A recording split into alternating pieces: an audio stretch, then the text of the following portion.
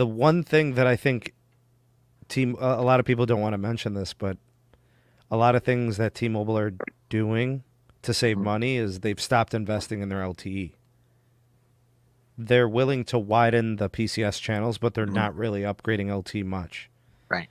As opposed to I think AT&T and Verizon, which are still really bolstering the foundation of their network coverage. Like what has mm-hmm. what has created the legendary Verizon networks coverage? You know, and what has created the newfound glory of the AT&T's RootMetrics performance and you know all this this this all these gains in the mapping it's been LTE it has not been 5G mm-hmm. you know so hey if if the nation's top two networks are LTE based why would why would anybody want to abandon that and you know, we still see the, them investing in LTE moose with AT&T and Verizon yeah C-RAN right? The small cells.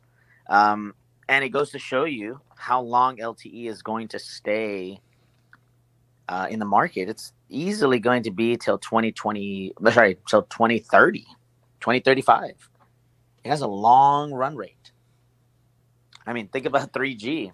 When did 3G start? You know, 3G started in like 2009, 8. Super long time. So no, it was even longer than that, wasn't it, Moose? I remember my uh-huh. BlackBerry was 3G, but that might have been like 06. Yeah, I mean the 07 was when the original iPhone came out, but that was Edge.